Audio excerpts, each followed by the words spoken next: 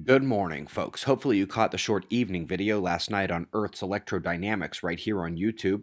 This morning, we've got news confined to our Earth and Sun.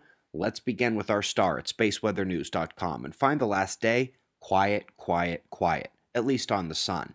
Because while there are no flaring sunspot groups and no ejecting filaments, the coronal holes have been pushing intensified streams our way, and another one arrived last night, slightly but meaningfully driving the solar wind speed purple panel second from the bottom, up to a peak which drove a brief geomagnetic storm and instability events as the wave crested over.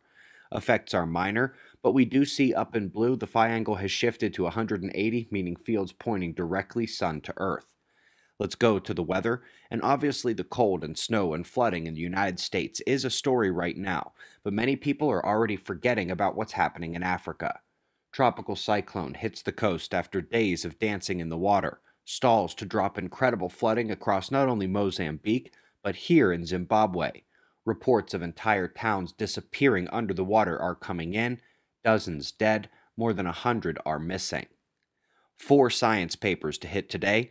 First one is a follow up to the notion that the Atlantic is about to re enter a cold phase shift that hasn't been seen in decades. This specific study focuses on the potential effects on the Red Sea and the cooling expected there. Folks, there's a whole chapter in volcano science textbooks heading out the window towards the dumpster. Ash free plumes retain the charge and lightning potential, and that's not likely to be a fluke. The ions exchanged in the global electric circuit are an enormous contributor to the charge of volcanic plumes, along with heat and friction.